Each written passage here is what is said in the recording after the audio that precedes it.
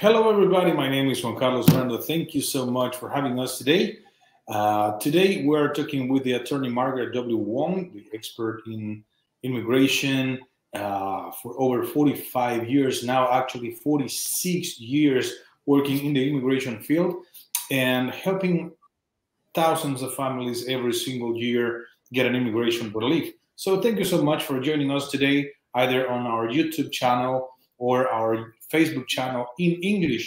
Uh, please feel free to send your questions uh, to ask any question that you have regarding to immigration, and uh, Ms. Wong is going to be answering your um, questions live. And the good news is that this answer is absolutely free for you. So uh, please give us a message, send us a message, or if you need more information, you can give us a call. The phone number is 216 279 3984. 216-279-3984. That's the phone number that you need to call in order to talk to the attorney Margaret W. Wong or one of the attorneys in the law firm that are all awesome working with the attorney Margaret W. Wong. Let's welcome the attorney. She's the star of this show, uh, Ms. Wong.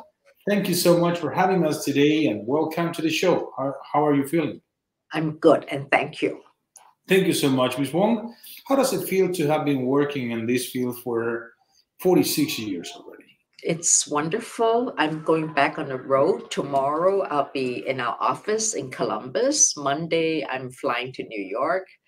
Wow. Tuesday and Wednesday, I'll be working in our Raleigh, North Carolina office. And Thursday and Friday, back to Nashville office. So I'm sort of excited about that. Wow, that's going to be a, a very active week. I think you haven't done that uh, like traveling all week long since the pandemic started. Correct.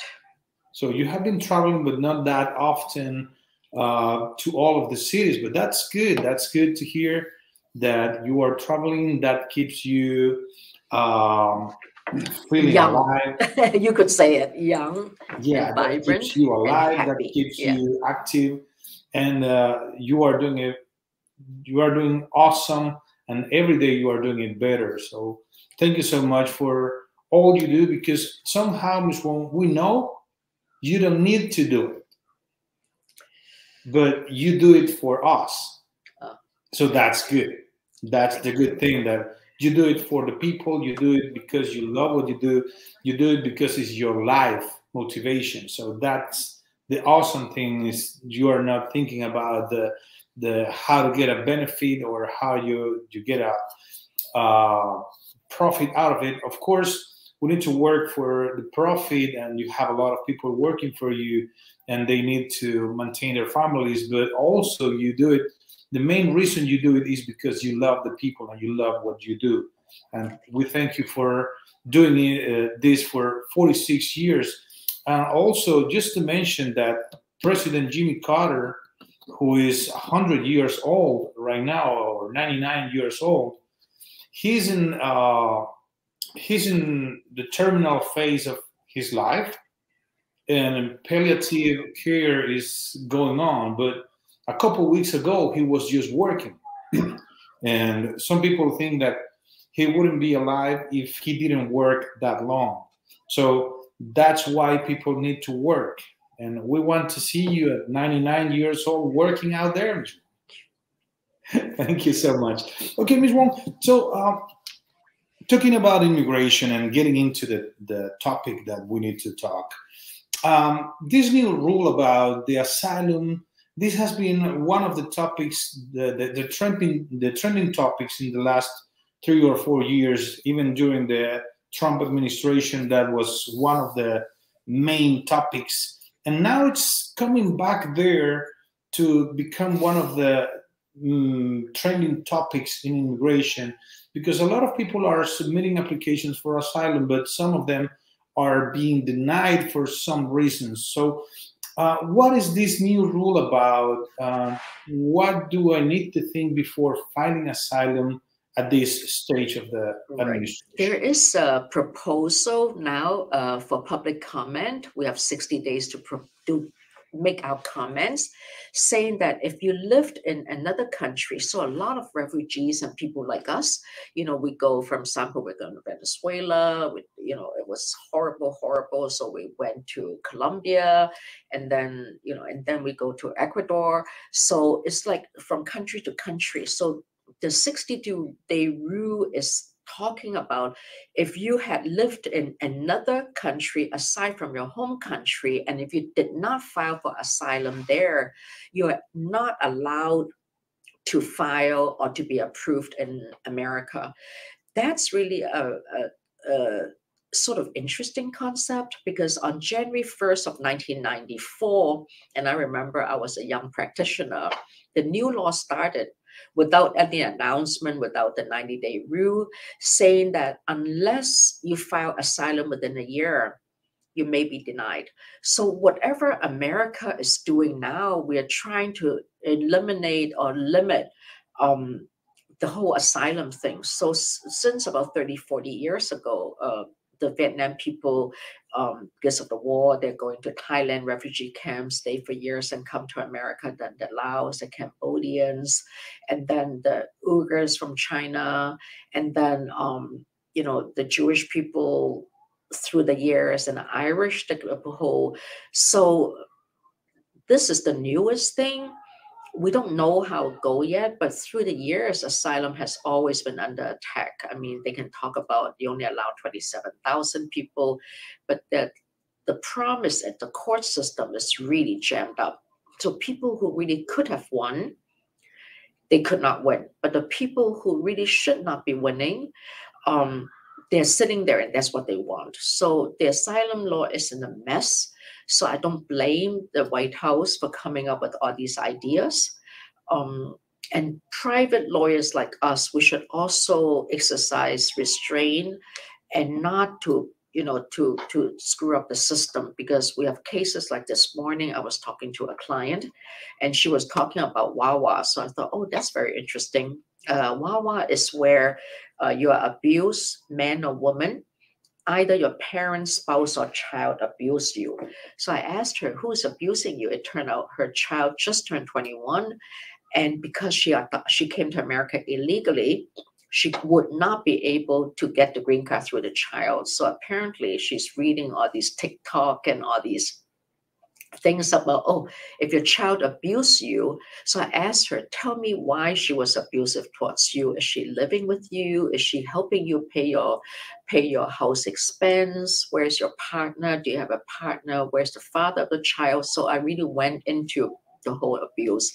And I was like, actually, she was laughing herself. She said, Oh, I'm seeing a therapist. My therapist tells me tells me I'm depressed. I'm like, you didn't know you're depressed? She said, I always we uh, we fought a lot because the daughter doesn't want to give her rides, you know, to go to a grocery store because she doesn't drive. And then the daughter doesn't want to, um, you know, keep telling her that, you know, she'll never get the green card. So don't waste more money. And actually, the daughter is right. I mean, and I communicate with the daughter. I'm not saying the daughter is right. I'm not saying I'm not going to help her. But what I'm saying is that she's in a good place. She's in America. She has her work permits. You know, she has her 42B filed. Um, but we cannot use the daughter to get her the green card. And then she's like, "Oh, uh, my my depression is really caused my daughter's abuse." So I said, "Wait, we all have children. I think especially daughters they're normally they'll tell mom everything. Oh, I don't want to give you a ride. I said, my daughter tells me the same thing. My son tells me the same thing. You know, so and I both of us actually ended up laughing. And then she said, "Oh, would that hurt my daughter if I do VAWA?" I said, "No, because you don't need a police record to do VAWA." She said, "Okay, okay, maybe at least uh, TikTok is right. I can get my green card." I'm like, "Oh," but you know, that's what I was thinking. My gosh, if you if people listen to TikTok or listen to uh, Google you know map or something to come up with this i'm just going on and on but i'm just saying sometimes we should not just because VAWA is a good law and just because you are de- you may be depressed or you are depressed because your psychologist tell you you're depressed because of abuse from your daughter you know all children i mean they give us headaches you know that's american children um but so I said, okay, just write me a story. I'll figure it out, you know. But it's yes, and, and that happens, and that makes a lot of sense as well. Uh, yeah, it's a, a bunch of different kind of culture that we face here in this country, and we don't know how people are raising their, their kids. Um, but the the thing is that everybody thinks that they are doing the right thing. So uh, it, it's it's the big issue in this country because maybe I see how you raise your kids, and maybe I can say you are wrong, but in your mind you're good. And then you see how I'm raising my kids, and you say, "Hmm, what Juan is doing is is very bad," and it's just a culture difference. Uh, beliefs and everything is is turning different in this country but um, it's good to have a general knowledge a general view about what's going on in this country and just be careful what you do in this country uh, because maybe if that's normal in your country that's what ms Wong says maybe that's normal in your country but in the united states that could be illegal so uh, you need to be careful about that Okay, Ms. Wong, let's start with this next question here. And this person says, um, I got my green card through marriage last year, but honestly, my husband has been a pain doing drugs and many bad stuff. I had to leave him not very long ago. Now he's basically blackmailing me, asking me for money that I don't that if I don't give him certain amounts of money, he will call immigration and say that everything was a fraud and that I supposedly paid him to get my green card, which is all a lie. Uh, what can I do to defend myself? I have all I have done has been real, and things just didn't work out well with him and me. That's an interesting question. I get a lot of situations like that because then the man thought, oh, you know, she doesn't come home at night. She's working too hard. Um, maybe she's just using me. Like you said, everybody thinks they're right, you know? So um, if you want to be proactive, and I've done cases like that before, I would even write a letter to immigration, to the American embassy, um, and just tell them or to um, wherever and keep a daily journal I would write a letter, be proactive, uh, and say that you know I've been blackmailed. Um, this is my real marriage. The the issue is, I presume she only got the green card for two years. So one year and eight months, she'll have to file a 751. So probably he's threatening her that he's not going to help her file it, but that's okay love is not slavery, which means that uh, you may want to protect yourself by being proactive and write immigration letters and emphasize you are the alien and you're not the USC because normally um, the citizen write derogatory, this is what we call derogatory information. So another thing to do is the 751, if you're separated, especially if you won't sign your papers, you could not get a green card. So you have to be either divorced or remain married to file a joint.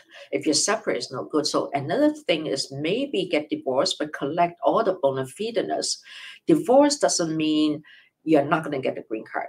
Divorce only means that you have enough of it. Either you, in the olden days when the new law first came out, that only one party could do it. Now it's law is a lot, actually a lot more liberal now uh, when it comes to marriage cases. So you don't need to worry. Maybe keep a daily journal. If you do go to the shelter, because if you leave the house, make sure you keep a record of that. Another way to do is there is a this is a VAWA case. That means if he's threatening you, but it has to be like sort of serious abuse. I mean, money issue. We all argue, husband and wife, you know. Um, so immigration does look at that, but maybe it's a VAWA case that we need. Uh, we could do an abuse case. So not all else will end poorly. Uh, on the other hand, think about it because a relationship is a relationship. We all have, have our problems. So um, maybe sit down and talk to him, maybe go see a marriage counselor. Maybe if he files for divorce, you file for divorce, you can tell the court that you're not ready for divorce and ask for reconciliation. These are all things. But remember, there are three things that's involved in divorce number one the actual financial settlement um, you know the because you he signed the 864 agreeing to support you for 40 quarters if not for life or until you become a citizen. So that's a divorce issue. The second issue is the grief the pain that you know the breaking up of a relationship. Then the third issue is the green card. So if i were you i would not or your husband I would not talk about just green card, green card, because it really does hurt someone's feeling. Instead of trying to maintain the intact of the marriage, you talk about, oh my gosh, if you divorced me, I couldn't keep my green card. That's hurtful, you know? So, but remember, whenever you argue with each other, whatever happens to how you feel, because it does express yourself in words or actions, think of the love, the reason why you got married in the first time, the, the, the, the and then think of your green card. Maybe they'll really help. Because sometimes the pressure of the green card is difficult. Yes, you already have your green card, right? You. Thank you so much, Ms. Wong, for this answer. And please, if you need more advice, don't forget that you can call. The phone number is 216-279-3984, 216-279-3984. The attorney Margaret W. Wong will be traveling this week and next week, actually. So tomorrow we'll be in Columbus, in the Columbus office. Uh, if you live in Columbus, you can just call. Her phone number is 216-279-3984, 216-279-3984. And also Monday, she will be in New York. You are going back to New York. Tuesday and Wednesday, she will be in Raleigh, North Carolina. And Thursday and Friday, she will be in Nashville office. And uh, March the 9th, she will be here in the city of Atlanta. So the phone number, don't forget, is 216-279-3984, 216-279-3984. Hello, I have a court hearing tomorrow. I entered and had a parole in I filed for asylum but still waiting on receipt notice. Should I go by myself to that court tomorrow? Is it too late to hire an attorney? I am scared.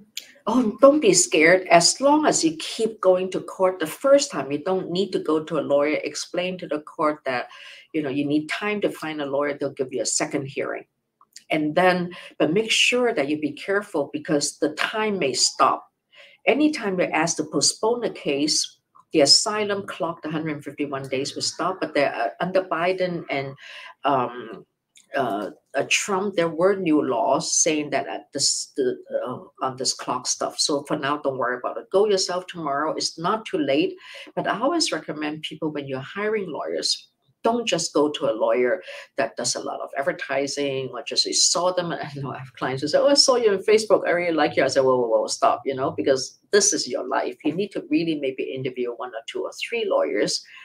They're always someone you like, uh, better or worse. Feel it out. So you you're right. You may be a little bit too late. Absolutely go to court tomorrow most judges are really not bad. It's just they're doing their job, we're doing ours. You know, we all have a role to play. It's like a theater, you know, that's the judge is doing her thing or his thing. The ACC is doing his thing or her thing. Your lawyer is doing your thing or her thing. Okay, thank you so much, Ms. Wong. The phone number is, don't forget, 216-279-3984. 216-279-3984. The attorney Margaret W. Wong has offices in nine cities of the United States of America, Atlanta, Chicago, Columbus, Cleveland, Memphis, Minneapolis, Nashville, New York, and Raleigh, North Carolina. And the phone number is 216-279-3984. 46 years plus uh, of experience working with the immigration field and helping thousands and thousands of families every single year and helping them get an immigration relief. So if you want some references, you can go to Google, you can go to YouTube, you can go to uh, Facebook, and you will see how people love Ms. Wong for all she's doing for 46 years. So if you need to talk to a really expert person, uh, you need to talk to the attorney Margaret W. Wong, and the phone number is 216-279-3984, 216-279-3984. The next question, Ms. Wong, is coming. Uh, good morning. How can I do if I have a removal order for an asylum denial, but then got TPS and got married to an U.S. citizen? That's a very, very good question. That's okay. TPS, you should apply. If I were you, I would apply for parole. The law is very clear now unlike Trump and you know Trump took off. Oh, it's horrible. But now uh, apply for parole, leave and come back. There is a headquarter memo just came out a few months ago. You still need to do a joint motion, and then apply for green card. But it's very clear. Number one, do parole, leave the country and come back. Number two, do that motion. Number three, file for your green card. Okay, thank you so much, Ms. Wong, for this answer.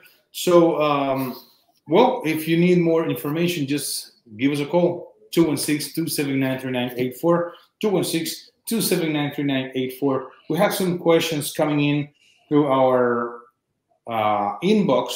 So I'm going to ask the first one of them is um, Do you have representatives in San Francisco for a green card renewal? San Francisco, California, I think. Right. Uh, we have a lot of cases in San Francisco more because it's a really good court. It's not as mean as Los Angeles, and people there are nice. But we don't have an office. Actually, we have an office. Uh, we had an office in Los Angeles. I just closed it. I couldn't handle it because Los Angeles is not nice. But it's okay. You don't need a lawyer uh, to do the green card extension. I don't mean do you. I don't know if you mean the ten year extension. You already had the green card or the two-year extension because you're married an American do the 751. So you don't, number one, you don't need a local lawyer. Number two, a lot of 751s are approved without even interview. We do cases around the country. So if you need help, uh, I could help you. But if you are doing only the 10 year green card, even if you have a criminal record, it should not be too hard. Uh, but if you're doing the 751 and if that's an interracial marriage, you may need a lawyer. So I could help you. We don't need an office there. Okay. Thank you so much, Ms. Wong. Just give us a call 216 279 3984. 216 279 3984. Hi, I am interested in EB5 investors visa. Can you give me professional guidance? I am from India. Okay.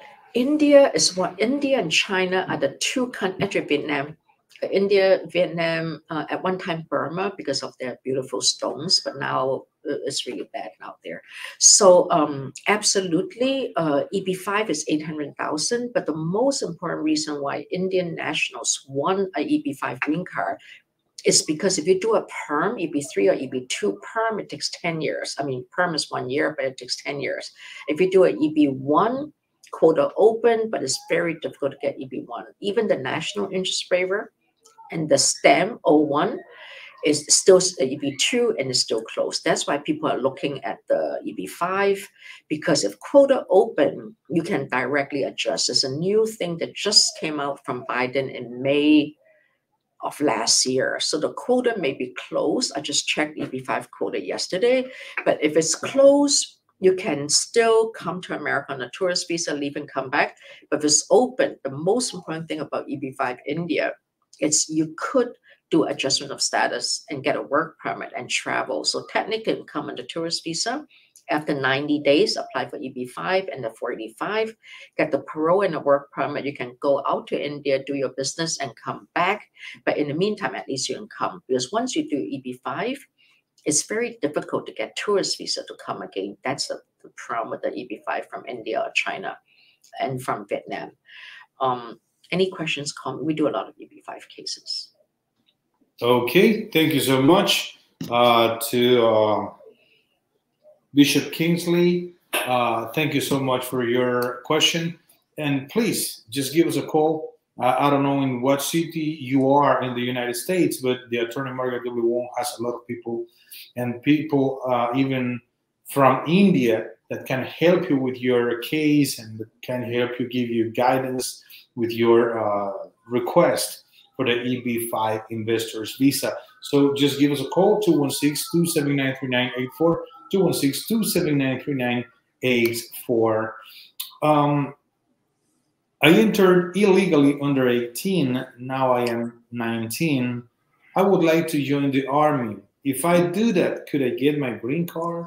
Yes, but uh, I would look talk to different recruiters. I have clients who actually told me, "Oh, I talked to someone, they they won't let me recruit," and then uh, they went to another branch, especially a National Guard. Now they let normally they recruit people who have at least a get a work permit. I don't know if you have a work permit, um, but talk to different branches. Absolutely, they do give green card faster and they do get citizen faster. Not only that, you can actually help your parents get a PIP. It's very good. Okay, thank you so much, Ms. Wong. Um, don't forget that the phone number is 216-279-3984, 216-279-3984. Uh, I was trying to uh, text back to this person that just sent us that question about the EB5 and just in case because it's not uh, one of the live uh, questions uh, but i needed to respond that because this person says i cannot be in the show but i will be working at that time so i hope you can uh, call the office the next question is um, i am applying for the U visa as a person american person tried to abuse um, now I got my green card. Uh, I got my U visa, and I'm trying to apply for my green card. But I don't know if I want to stay in the United States or if I want to leave. So what happens if I get my green card and I leave the United States for at least one year to get treatment? Okay, the the thing is, a green until you become a citizen, a green card means that you actually should live in America for the next five years we do have a lot of clients that have jobs there. The pain is so powerful, they need to be close to their parents. So what you need to do is apply for a re-entry permit. On the day of the application, when you file the I-131, you should be in America because it's Federal Express. Oh, you can also do it in e-filing now. I personally don't like e-file, but if you like e-file, you can as long as you're in America on the day of the filing, number one. Number two is you don't need to be in America when you get the receipt notice. Number three, when you get the fingerprint notice, you need to be in America to, do the fingerprint. So if some clients, after we file, they fly out and join their family, they fly back in for the fingerprint. Now, for example, you live in Cleveland, right? But on the other hand, if you're flying to Australia or China, or Hong Kong, or India, Guam is closer. You don't have to come back to Cleveland for the fingerprint, you can actually go to Guam, you know, Guam or, or somewhere, Seattle, you know, the, the, the border cities or New York. So you don't really have to just come back in, do the fingerprint. Nowadays, the I-131 is taking about one and a half years. So if you want to expedite it, you need to enclose a plane ticket and say, I'm leaving, especially if you need it for travel, like the old Soviet Union after the war, the Berlin Wall fell, uh, the old Soviet Union was gone. So there are countries that you can get a passport because they because you're from the old Soviet, and now you can get a passport. So you need to explain it's a travel document. They may expedite. Now, New York is the only city, 26 Federal Plaza, not even Buffalo or Syracuse. They may or may not front office. You bring in a, a one-way ticket you bring the receipt of the I-90, you get an emergency letter and say you have to travel and a valid passport. Sometimes front desk, they may give it to you, but don't, don't, I'll get yelled at if we, if we publicize this, but sometimes they'll do it. New York is the only place. Because, but that was, I don't know if they'll do it now because after COVID, things are changing. But for, for years, they would do that there's an emergency. So don't give up your green card. I mean, you know, people spend a million dollars. Uh, EB5 is 800,000. It still take people four or five years to get green card. Now that you already got it, don't give it up. You spend years in America, probably undocumented, going through a lot of pain. So don't think about giving it up. But you could travel. If you didn't get the green card yet, get a parole in and out, you should only uh, leave for one or two weeks. But if you got the green card, you can uh, you need to come back once every six months. But If you get the reentry permit, it starts from a day after you get the reentry permit, but the last entry and departure from America, you can come back once every two years, once you get the reentry permit. Okay, thank you so much, Ms. Wong, for your answers today and all the knowledge that you share with all our audience. And please don't forget that you can call. The phone number is 216 279 3984. 216-279-3984. The attorney Margaret W. Wong will be happy to take care of your case to help you in your immigration uh, case. And the phone number is just one, 216-279-3984, 216-279-3984. The attorney Margaret W. Wong. Ms. Wong, our time is up. Thank you so much for having us today and see you probably next week. Thank you. Thank you so much. Don't forget the phone number 216 279 3984. 216 279 3984. And this one will be in the city of Columbus, Ohio tomorrow. And also Monday will be in New York. Tuesday and Wednesday will be in North Carolina and Raleigh, North Carolina. And Thursday and Friday, she will be in the city of Nashville. So the phone number, if you need to make an appointment, is 216 279 3984. 216 279 3984. Attorney Margaret W. Wong. See you next time. Have a good lunch. And thank you so much for having us today. Thank you.